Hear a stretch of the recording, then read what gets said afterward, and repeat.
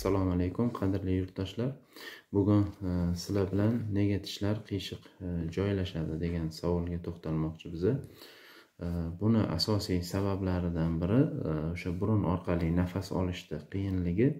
Bunga sabab chi nima? Burun orqali nafas olish qiyinligiga sabab burun to'sig'ini qiyshiqligi yoki o'sha vazomotor tumovlar ya'ni o'sha burunni ichida joylashgan chig'anoqlarni kattalashib ketishi va o'sha bolalarda adenoid vegetatsiyasi ya'ni o'sha adenoid bezini kattalashib ketib burun orqali nafas olishga to'sqinlik qilish hisoblanadi.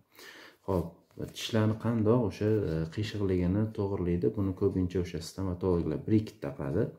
Brikit taqishdan oldin. Albatta o'sha lor vrach konsultatsiyasini olish kerak. Sababiki e, bir ikkita o'sha asosiy sababni bartaraf qilmasdan taqilgan brikit ma'lum bir muddatda o'zini samarasini berishi mumkin. Lekin keyinchalik yana e, o'sha eski holatida e, o'sha qiyshayishga olib keladi yana qayta tishlarni sababi o'sha asosiy sababni bartaraf qilinmagan ya'ni o'sha burun orqali nafas olishni tiklanmagani. Xayr salomat bo'linglar.